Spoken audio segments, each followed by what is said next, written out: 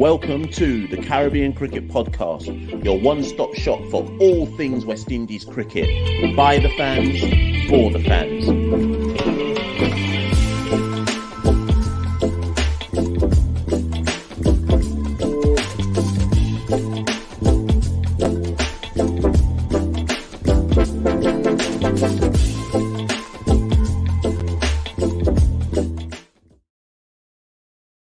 Yes, yes, yes, ladies and gentlemen, welcome to another episode of the Caribbean Cricket Podcast. I say episode, what is it? Is it a reaction vid? Is it a cuss out? You decide. Either way, my name is Machel St. Patrick Hewitt, one half of the Caribbean Cricket Podcast. Santoki's not with me today. This is a solo one, a quick, a quick. How long is this one going to be? Let's say 25 minutes 26 minutes maximum, 30 minutes, no more than 30. So I'm going to watch that clock on the side, people. I had to do a reaction vid. You know why? Because the white ball squads were announced yesterday. I'm recording this on Wednesday, the 29th of June. The white ball squads were announced yesterday uh, for the T20s versus Bangladesh and the ODIs versus Bangladesh. It's immediately worth pointing out, of course, India come to the Caribbean as that Bangladesh white ball series finishes. So it hasn't been announced as to whether, in fact, let me just double check, you know, let me just double check as I'm doing this, people. Let me make sure. Yeah, the squads that I'm going to talk through um, are just for the Bangladesh series. So it's not a double announcement for India as well. So things may change for that. And why did I feel like a reaction video was needed? One, I mean, why not? If we're going to purport to be uh, a Caribbean cricket podcast, then we should up our content levels and make sure we're reacting to all the key news coming out of the Caribbean. But also earlier on today, I was present for the press conference with Dr. Desmond Haynes, the Haynes, the lead selector for the West Indies senior men's team, um, and there was quite a lot of important things said in that press conference. If you follow us on Twitter, you can see it in the handle next to my name at Carib Cricket.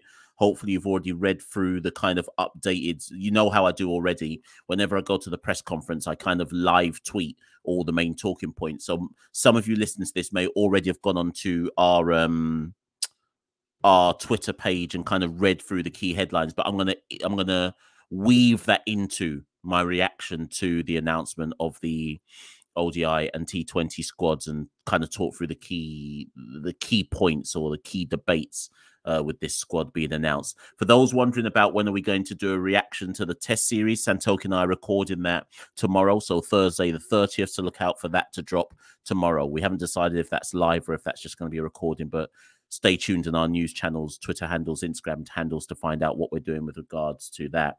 As usual, just a bit of admin to get out of the way. Uh, you know by now, if you're a regular listener, you know by now. For a regular viewer, you know this by now. You can follow the Caribbean Cricket Podcast at Carib Cricket on Twitter and Instagram. We're also on Facebook. Just search Caribbean Cricket Podcast. Of course, if you're watching this on YouTube, we're on YouTube.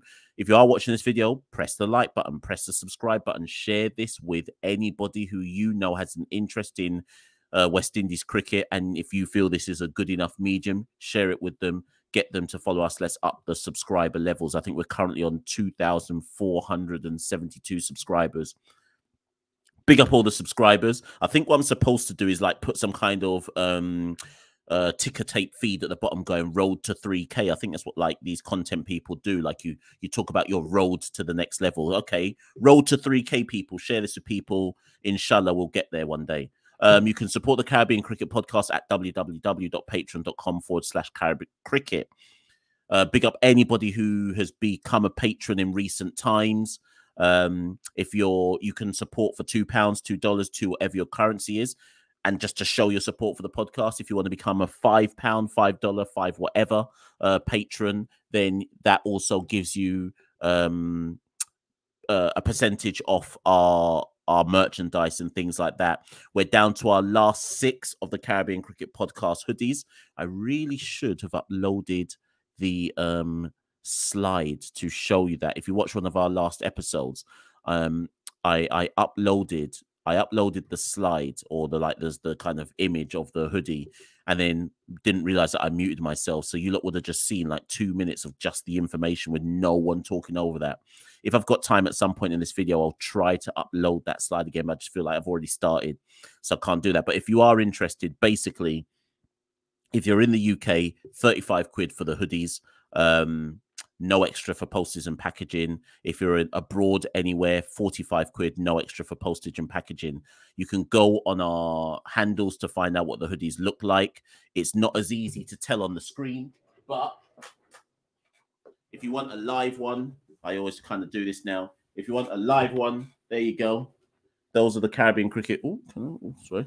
Those are the Caribbean Cricket Podcast hoodies. So if you want one, I don't know if the camera's showing it that well. It's much better than probably the camera showing it. We're down to our last six. I think it's one large. I think it's one large, three extra large, and two double XL. So if any of those are your sizes, hit me up in the DMs, whatever, and you can get one of those as well. And of course, if all else fails, the one-stop shop to find out everything about the the podcast caribbeancricketpodcast.com just go there and you can find all the links the news the podcast episodes all the links to Spotify, Apple, so on and so forth, the link to our Substack um, page, Facebook page, all of those things. So that's the main website. Anyways, people, let's get into it. I said this was going to be no more than 30 minutes, which means I've basically got 25 minutes left to react to the ODI and T20 squad announcements. Let's start with where should we start? Do you know what? Let's start with the ODI team. Why? Because even though that's the no no sorry let's start with T20s because T20s is what's going to uh, start this weekend. So if you don't know um, already, let me just give you the schedule. Get into my bag here. Look at this. What podcast opens up their their rucksack whilst they're they're doing their live video? If I just get out my uh my diary, people, it's my diary. I even put West Indies. I put West Indies fixtures in this diary. You know, um, all the teams. So the first T20 will be this Saturday, the second. The second T20 will be this Sunday, the 3rd of July. And the final T20 will be Thursday, the 7th of July. The ODIs, the first one will be the 10th of July. The second one will be Wednesday, the 13th of July. And the final ODI will be Saturday, the 16th of July. And then the India ones begin literally a week later. So, given that the T20s are the first ones up, let's look at the T20 squad. So, this was the named T20 squad on the screen below. You should see it. Nicholas Pooran, captain. Rovman Powell, vice captain. Shamarh Brooks, Akeal Hosein, Alzarri Joseph, Brandon King, Kyle Mayers, a return for Obed McCoy, a proper return for Keemo Paul, uh, Romario Shepherd, Odean Smith, Devon Thomas, Hayden Walsh Jr., and the reserve is Dominic Drakes. So that's the squad. If you're watching this, obviously now, maybe put in the comments what you feel. You might want to wait to see what I say before you put in the comments what you feel. By now, if you're a regular of listening to our podcast, you know that I tend to reply to every single comment that is put on the YouTube pages. So if you want to engage in discussion about this, by all means, get involved in the comments below, as well as pressing the like button, the subscribe button, notification button, etc. So first things first, let's just talk about who's dropped from this squad. Um, and actually not that many names have been dropped. So people might forget that the last time we put no, there are a few names, sorry, mixed up with the ODIs. People might forget that the last time we played T20s um, was actually in India back in I want to say February. So if you remember, we played England in January in a five-match T20 series and beat them 3-2. And then we went to India pretty much straight after that and lost 3-0 in India. Now, we have to remember, people, that T20s are important. Remember, there is a World Cup at the end of this year in Australia. We have to qualify to get into the actual main draw of the World Cup. That's not guaranteed. Obviously, since the last time that T20 series has been played, Kieron Pollard, the T20 captain, stood down. So we haven't actually played any T20s since Pollard stood down. So this will be Pooran's first proper for a forage into being the official West Indies captain in this format of cricket. And I think people have forgotten that we haven't actually played T20s in a long time. Now, first things first, who are the names who are omitted from this T20 squad? Some dropped, some injured, and but I'm just going to go through them so that people can understand um, who is not around and identify by default who are the people who have replaced these players dropped from the T20. So I've tried to match them up. So when we went to India, these players were in the squad. Roston Chase. And the joke is Roston had a really good time in India, not with the bat, of course, but with the ball. He took six wickets uh, for 62 runs. Uh, the best economy in the team, 5.16, average of 10. Um, uh, sorry, average of 10 with the ball. Now, Roston has been dropped. There is an argument to say, there is an argument to say that that is harsh on Roston. If you look at the squad, you can see that there's actually only no, there's two. There's the, the, the there's two spinners in the squad, but Roston isn't one of them. So Akeal Hosein is there and Hayden Walsh Jr. is there. Both Akeal and Hayden went to India. Um, but Hayden only played one match. Roston played Roston played all three matches. Akeal played two matches. Um, so there's an argument to say interesting, interesting that they've kept Walsh and Hosein, and the person who actually bowled best in terms of spin is out of the squad. So that's already an interesting talking point. Get in the comments below to let me know what you think about that. Remember, I study this stuff. Sheldon Cottrell out. Now, in fairness to uh, Dr. Haynes, he said in the press conference today that Sheldon had been selected, but then got injured. So Sheldon isn't dropped. Sheldon is out because he is injured. If you look through that squad, the obvious like for like replacement for Sheldon is Obed McCoy, and that's a welcome return. You can debate in the comments below whether you think Obed McCoy or Sheldon Cottrell is the better left arm bowler. I would have them both. I know that some teams in international cricket seem to be averse to playing two left armers in the squad. No idea why, given we play so many right armers in the squad. But um, Sheldon can't play, so Obed is the natural replacement. It's good to have Obed back. I think sometimes people forget that. Um, remember before last year's World Cup, Obed was on fire all through that summer series of whatever it was, 18 matches that we played. Obed was bowling brilliantly for the West Indies, and then he got injured before the World Cup. Remember, Fabian got injured before the World Cup as well. Would that have meant we would have done better at the World Cup? Who knows? But losing Obed McCoy before last year's T20 World Cup was a huge blow. Fantastic to see him back selected for the Maroon. He's been on fire um, for Sussex in the in the T20 Blast in England. So a brilliant, a welcome return for Obed McCoy. Keemo Paul is in this squad. Now, I think Keemo is in the squad as a direct replacement for Jason Holder. Remember that Jason Holder is currently being rested. So Jason, um, what cricket we played? Jason hasn't played, didn't play the um, Netherlands ODI tour. He didn't play the Pakistan ODI tour. He hasn't played the Bangladesh Test series, and he's not going to play anything in the Bangladesh White Ball series. Re remember, I've got no issue with that remember that Jason is an all format player and our calendar this year is chocker blocked. Remember, after Bangladesh come India. Okay. After India come New Zealand. After New Zealand comes CPL. After CPL, we're traveling to Australia. I think we've got a tri series in there somewhere, and then we're traveling to Australia. Then it's the sorry, no, no, sorry. After CPL, World Cup. Then we're traveling to Australia what the World Cup's in Australia. We've got Test series in Australia, so the the, the, the calendar is chocker. It makes sense that given you're going to basically have Jason in every single squad this summer, going all the way through to the T20 World Cup and then the Test series in Australia, you're going to have to rest Jason at some point. So it makes sense that Jason's not involved. Uh, versus Bangladesh, with with respect to Bangladesh, it makes sense not to involve Jason. So Keemo Paul is a light for light replacement. Again, in the press conference today, Dr. Haynes spoke uh, glowingly about how Keemo had performed in the four day championship for Guyana. Remember, people, that Keno, Keno, Keemo is coming back from injury and trying to re re-reach, but trying to get back to the levels we once saw from Keemo. What remember when Keemo first debuted for the West Indies, he was seen as a genuine top quality all round prospect, bat and ball. Keemo uh, bowled well in Test cricket. He Keemo was an all format player, and injuries have taken their toll on Keemo over the last two years. But Keemo's hungry. I've seen some interviews with Keemo recently where he's hungry to get properly back into the West Indies squad, and it makes sense to bring him back first and foremost in the white ball squads. Obviously, four day cricket isn't white ball cricket. They called Keemo up as a kind of what was it? Was it a COVID heat replacement reserve player in Pakistan. He got to play the final um, ODI in Pakistan. So it's good to see Keemo back. He's the natural light for light replacement for Jason Holder.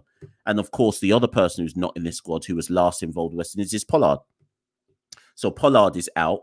Um, and looking at this squad, I think that Devon Thomas is his replacement in the squad in terms of obviously, well, Devon actually does bowl, but I think Devon Thomas is is, is in there as the like for like batting replacement for Pollard.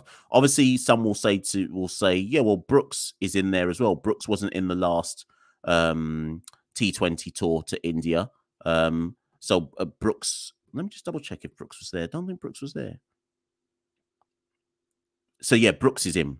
Brooks is in as well. So you could say that maybe Brooks is there as a replacement for Pollard um, as well. But yeah, so Brooks is in the T20 squad. I've got no issue with that. And Devon Thomas is in the T20 squad. Devon, remember, his Devon isn't Devon can do everything. He can bat, he can bowl, he can wicket keep, and he's an excellent fielder. Anyone who saw his substitute catch in the recent second test match versus Bangladesh will know that he, he's a, he's a gun in the field, a gun fielder as well. So Devon Thomas in again got no real issues with that. Dominic Drakes is the reserve. So Dominic Drakes in when we played when we went to India was actually in the squad. So he's been pushed down to the reserve place. So that's where you get Brooks's name. So Brooks, who wasn't in that India squad, has possibly replaced Dominic Drakes, who is now just a reserve traveling with the squad. I'm not going to get into the semantics semantics of who should play versus Bangladesh in the first T20 on Saturday. Maybe that's a separate video. Maybe that's a debate for our Twitter handle, our Instagram handle. But this is just my quick kind of breakdown and synopsis of what the T20 squad is looking like and what the main talking points are. What am I worried about with this T20 squad? Boy, I'm still concerned. Well, there's hmm, looking at that squad, it's do you know what? It's a good squad. It's a good squad, but the things that stand out to me, and again, get in the comments after I've said this, the things that stand out to me as areas to is it be concerned about? Areas to question are there's too many all rounders in that squad. I still think that we've become too much of a bits and pieces T20 side. That doesn't mean we can't be good with it, but for me, it's always about role definition. So if you look at that squad, Keemo Paul is an all rounder, Romario Shepherd is an all rounder, Odean Smith is an, is an all rounder, right? So that's already three all rounders. Kyle Mayers is an all rounder. Technically, Akeal Hosein is an all rounder. But the difference with Kyle Mayers and Akeal Hosein is they're definitely playing, and you know that Kyle Mayers is probably going to be somewhere near the top of the order, possibly looking at that squad. Yeah, looking at that squad, you assume that Kyle Mayers is possibly going to open with Brandon King. That's what you assume just looking at that squad. Okay. So, and Akeal Hosein, we know is our premier spinner in the format, and he's possibly going to be coming in. Well, we don't know where he's going to come in. It depends on match situation for Akeal Hosein as to where they might bat him. So then I start to look at Shepherd, Smith, and Paul, and I'm like, okay, who's good enough in their strongest suit? Do I trust Keemo Paul with the ball in T20s? Yes, I do actually. I know he had a rough time of it when he went to New Zealand a couple of years back, but remember about the injuries. Okay. Of those three, I trust Keemo Paul with the ball more than I trust Romario, more than I trust Odean Smith. Who do I trust more with the bat? Well, boy, you could put Romario Shepherd or Odean Smith anywhere there. It's a debate as to who's better as a finisher. At this point in time, I'd actually argue. I don't know. It's a hard one. It's a hard one. You lot tell me in the comments who you trust more with the bat out of Shepherd and Smith. But the point is, that's three all rounders. Can you play all of those three in the same team? I think that's debatable. Because if you play all of those three in the same team, you're going to have to ask at least two of them to probably bowl their quota. And then you, if you're asking them that, so imagine I'm just randomly, Akeal Hosein, fine, he bowls his four. Obed McCoy obviously plays, he bowls his four. That's eight overs, right? Um, let's assume Hayden Walsh doesn't get in, but he might do, but let's just assume he's not. Then you're looking at the next, so that's eight. You're looking at the remaining 12 overs coming from a combination of Mayers, Paul, Shepherd, Smith. Let's just assume they all play. Do you think we can get 12 competent overs from those four? One of those four is going to have to bowl more than you'd probably want them to. That's my argument. So when I look at, oh, I forgot Alzarri Joseph. Sorry, take that back, people. Sorry, take that argument back. Alzarri, Akeal, Obed, that's 12 overs. So actually, sorry, my argument was redundant there. That's 12 of your overs gone. So then my argument is if you've got 12 year overs from those three, and those three are all certainties. So I'll say that again Akeal, Alzarri, Obed. 12 overs, which means you've got eight overs left to fill in, a, in, in obviously a T20.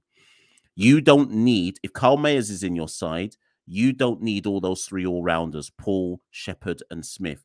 One of those three has to sit. So the argument is who are you sitting? Get in the comments below about who you're sitting. You might have to sit two because some of you might get in the comments below and say, well, obviously Hayden Walsh should play as the other spinner, which means you're sitting two of those all rounders. So I my overall point going back to it is just I think we have too many all rounders in the side and too many of those three, too many all rounders where you're not sure what they're if they can fulfill their primary suit. And I always say about an all rounder, if you can't fulfill your primary suit, to a good enough level, how did you get in the squad to begin with? But then you might turn around to me as a listener to this and say, "Ah, oh, but that that's because you've got their primary suit wrong. Romario Shepherd's primary suit isn't bowling; his primary suit is batting." I would say that's not the case. He's picked first and foremost to bowl, and he should be expected to bowl his three or four overs. And if you can't trust him to do that, don't put him in the side then. But anyways, that's a I'm I'm leaving it out there. I'm leaving I'm leaving it out there for people to get in the comments, debate, tell me I'm chatting foolishness, so on and so forth. There's obviously potential question marks about the batting, which maybe I'll address at a different time. Are there too many? Is it? It's T20s, so I've got no issue with this. A lot of them in there are are are what are on a good day. There are 140 plus batters: Pooran, Powell, Mayers, Brandon on a good day. And then obviously you've got the Shepherds and the Smiths, depending on how you structure your order. So there's a lot to be said about how they're going to structure that T20 side. Does a Brooks definitely play in the T20 side? Is his nudging and nerdling? He has shown that he's got the ability to go quickly, but Will they play him as somebody everybody else bats around? I don't know. I've never believed in that concept in T20s, but they may think that Shamarh Brooks' role is key in terms of having some, you know, how everyone wants to talk about the Marlon Samuels role. They may well decide that that's where Shamarh Brooks comes in. Who knows? There's some hmm. debate around that. So that's the T20s. That's the T20s. Oh, sorry, I should say. Let me just deal with some absences. So lots of people say, "Where's Fabian Allen?" Fabian Allen was in India when we last went to India and didn't only played. No, he played two matches he played two matches, um, went at 9.88. Remember, Fabian was coming back from injury for that India tour. So uh, Dr. Haynes said that Fabian had been selected, but due to uh, personal circumstances, and I can confirm that these are legit, serious personal circumstances, um, Fabian couldn't make himself available for selection. So that's why Fabian's not involved. Fabian hasn't fallen off the radar like we questioned. Um, he just couldn't make himself available for selection. Sheldon, like I said, is injured. Hetmyer has reported that he is injured. He told Cricket West Indies he's injured and therefore cannot be selected. I'm just going to throw this out there. I, am not denying that. I'm not saying he's not. I, I'd love to know what the injury is, though. Shimron hasn't played any cricket since he came back from the IPL. That doesn't mean he can't get injured. I'm just saying I'd love to know what the injury is. Is he saying that is he saying that since he came back from the IPL, he's picked up an injury, or did he? Is he saying that he got an injury in the IPL and he hasn't recovered from it yet? This is where we need to be a bit more transparent.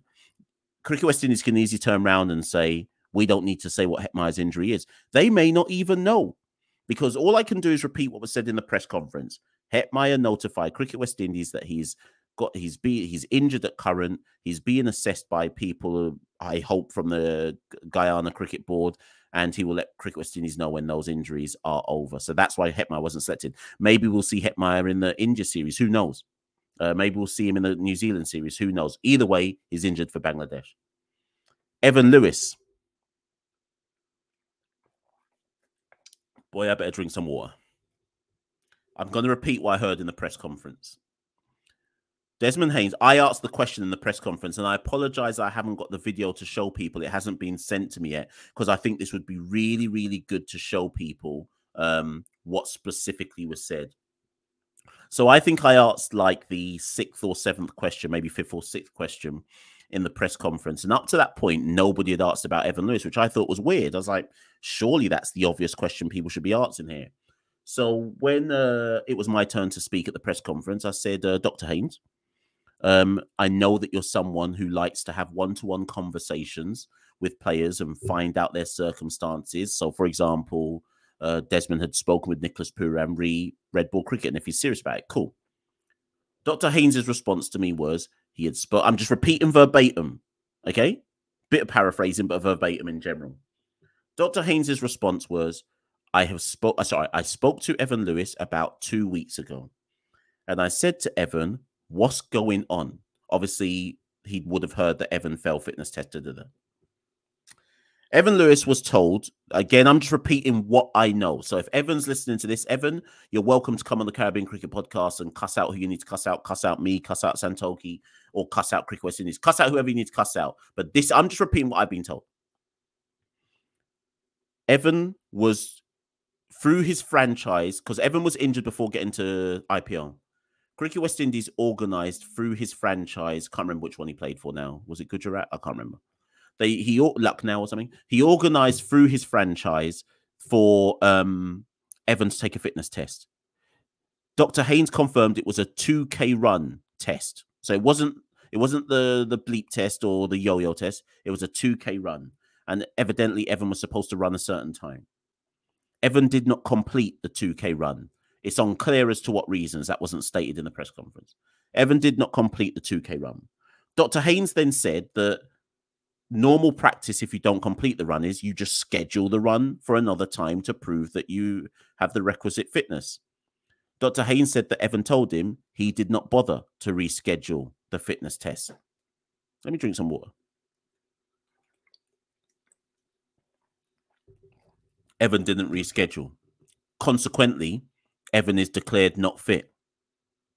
I can only go on what I've been told. And some of you have been saying to me for a while, when you're going to do an Evin Lewis cuss out video, you've done a Shimron Hetmyer one, you've done an Andre Russell one, you've done a Roston Chase one, da da da da da. When you're going to do an Evin one, and Evin, I hope you're listening to this. Evin, what's the story, bro?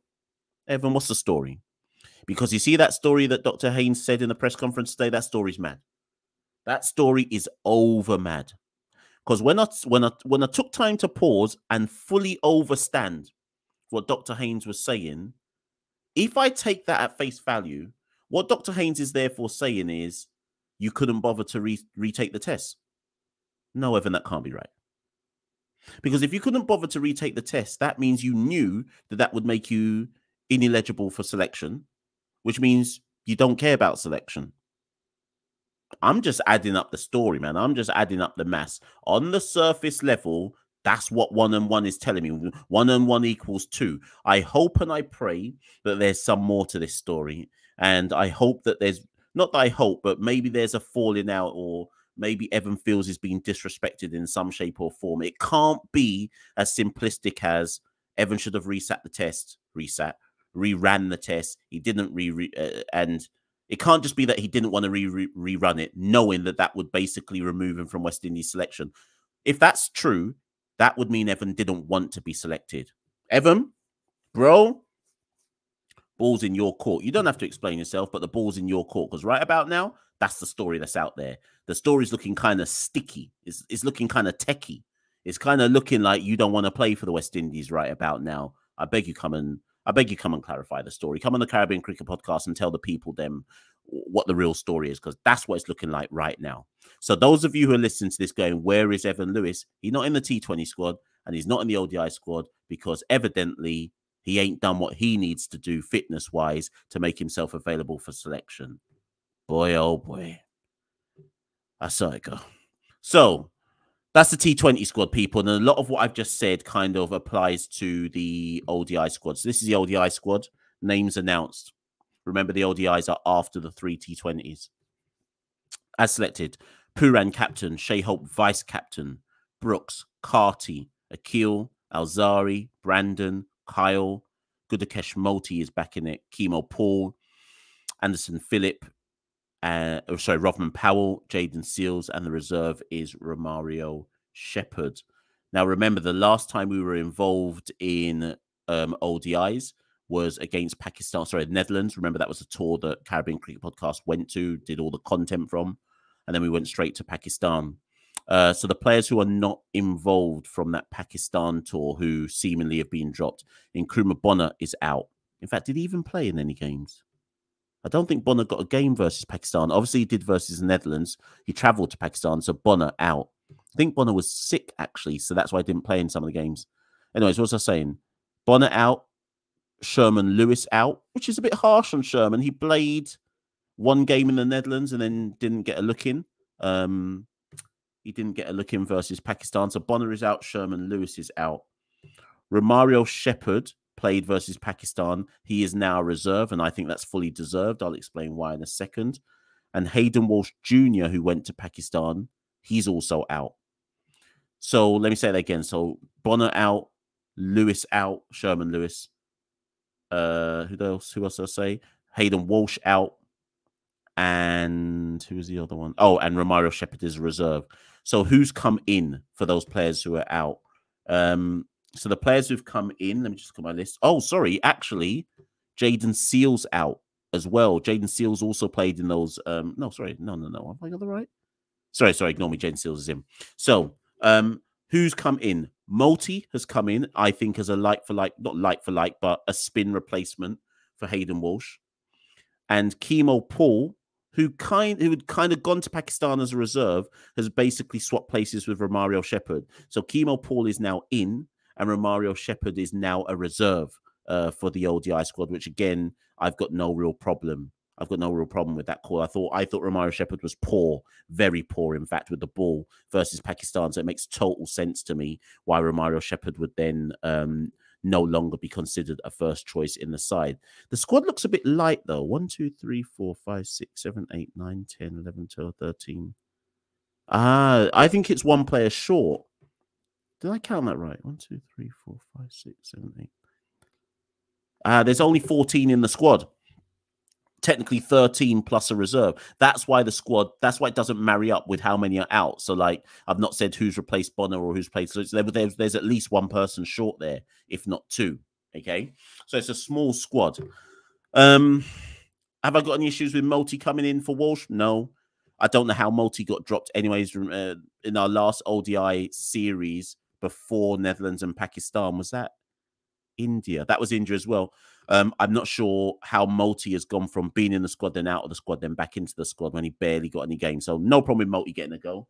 Santoki said to me that he reckons Motie's in because some of the games are in Guyana. Whatever, I don't care. Motie's in the squad, that's fine. Paul for Shepherd, no problem with that. Like I just said a few minutes ago, I thought Shepherd was awful with the ball versus Pakistan. He couldn't be trusted to bowl his allocation of overs. Keemo came in for that one. Keemo travelled as reserve, played the last game, got two wickets for 50, 57 runs in his nine overs in that last game. Like I say, Desmond Haynes is very high, spoke very highly of Keemo Paul in the press conference. So, so I get that change. The big issue, though, really and truly, as I look at that squad, is the batting um, we were found out not not so much against Pakistan. No, because we there were even points in the games versus the Netherlands. Remember, there was that one ODI versus the Netherlands where we were like 99 for five at one point, and obviously we still won, but we we came on stuck versus the Netherlands. And uh, Dr. Haynes spoke about this in the press conference. He was like, I am still concerned. He raised two main points. One, West Indies mindset in ODI still not being a 300 ball match mindset and still having too much. We're still kind of caught between a rock and a hard place of having a bit of a T20 mindset to ODI cricket rather than having a bit of a, um, for want of a better word, a phrase, phrasing, a, a rotation mindset. We're still getting a bit stuck in the middle overs versus spin. We're still shot, shot, some will say shot selection, some some will say shot execution, but we're still giving too many wickets away at crucial moments in ODIs when it's still time to build an innings. Pooran was guilty of that several times. Um, even Kyle Mayers at the top. Obviously, they moved Kyle Mayers to open um, in in Pakistan, and at times he got us off to a good start, strike rate wise. But then I think, and um, Dr. Haynes alluded to this in the press conference, that is that is that the best use of Kyle Mayers though at the top of the innings? He seemed to be alluding that he'd rather see not that it's his choice per se, um, but he I think he was alluding to rather wanting to see Brooks at the top of the order um, and have a more solid start to the innings rather than hoping that Kyle Mayers gets off. Maybe do that with Kyle Mayers in T20s, ODIs. There's an argument to say you don't do it with Kyle Mayers in ODIs. Remember, versus the Netherlands, Brandon King was moved down to number five, but then Pakistan he got unstuck, particularly to spin. Uh, in Pakistan, and by the third game, he, he was he dropped or was he sick? I don't know, but he didn't play the third game. So there are still some question marks about our batting. Um, if I read back the figures of that Pakistan tour, Shai Hope averaged 50. Obviously, he got uh, he got a 127 in the first game. Brooks averaged 43. He got 150. Akeal Hosein averaged 41. He got a 50. And then from there, it was downhill. No one showed up with the pat. Pooran only over, averaged 19. Rovman averaged 17. Kyle averaged 14. Brandon averaged 2. So there are still question marks about the structure of our batting lineup, but also the I think it's more shot selection. I think it's more shot selection than shot execution, but shot selection in the context of game situation. So maybe I'm more talking about situational awareness. And I still worry about our top six in that ODI. I'm not saying I'm going to tell you what the top six should be right now, but I just wonder about their ability. And, and Desmond, uh, like I say, Desmond said it in the press conference, their ability to play 300 balls and recognizing this isn't a T20 bed yourself in and what and what Desmond also alluded to is bed yourself in so that when the six hitters come in whether that be who am I looking at now? Oh Romario Shepherd's out. So whether that be I've got to pick someone. Rovman Powell coming in at number 6 in ODIs when Rovman Powell comes in at number six, if it is number six that he comes in for us in ODIs, or even Akeal Hosein, or whatever it might be, players who you know can clear the boundary, um, let them come in when there's less than 10 overs to go or 12 overs to go when their six hitting can be more effective. If you're bringing in your power hitters and you're already four wickets down by 20 overs, of course, we're not going to make many runs because you're putting them in you're putting them in situations where you're asking them to do rescue acts when their game not is isn't necessarily built for that. So there's issues about our the order we're putting the players in. Should it be Brooks and Hope who open, for example, instead of Mayers? Should Mayers come in at number six or seven three? So there's there's issues about the order, there's issues about shot shot selection, and there's issues about situational awareness at the top level. We got away with it versus Pakistan and we started some building blocks. At the top level versus Pakistan, we got found out a bit, but that was to be expected. And it's also worth noting that Desmond spoke a lot about people needing to appreciate and understand how difficult it was for the players in Pakistan. 46 degree heat. Um, lots of players, he said, got sick. Um, Bonner, I know, got sick, for example. That's why I'm questioning if King got sick because he didn't play the final ODI. Um, he said lots of players got sick, and he said actually the team unity was a real pleasure to see in Pakistan. And that was something that Pooran spoke about at the end of the series and got some cussing from it. People like, why is a guy talking about the importance of building a family and being a tight unit and growing together? And people like, ah, we just lost 3 0. Man's talking about how it was such a good tour to build a family. And I, at the time, I thought, this is harsh. I get what Pooran's talking about.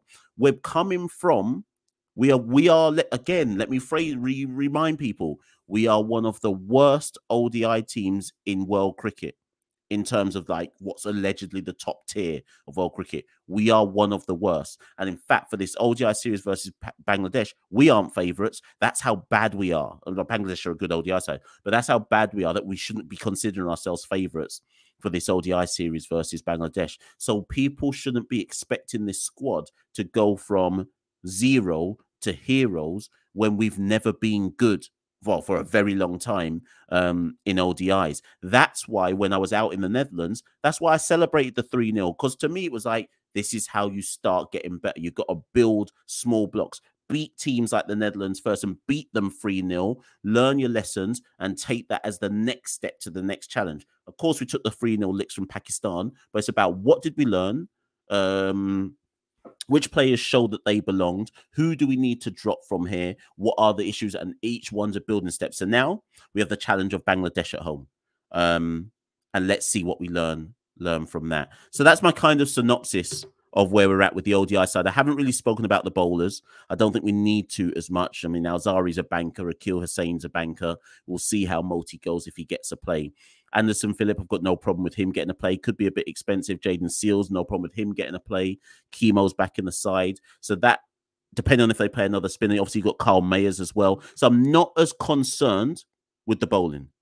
I don't think we need to two, two, two deep dive into that. Um, it's more about the batting for me and how we construct the side um, with the bat. So that's my synopsis of the the white ball sides. People get in the comments below. Let me know what you think about that. If you think I missed a key talking point, if you'd like to know what Desmond said about someone who I may or may not have mentioned, if you think there's someone in the T20 squad who should have been in the ODI squad or vice versa, uh, and so on and so forth. So get in the comments. Let me know. Make sure you press the like button. Make sure you press the subscribe button um, and share it with your people. Share it with your people, and let's keep making the Caribbean Cricket Podcast grow even stronger and bigger. I've been Machel St. Patrick Hewitt. Let me take this off the screen. I've been Machel St. Patrick Hewitt. That's been another Caribbean Cricket Podcast reaction vid. Thank you and good night.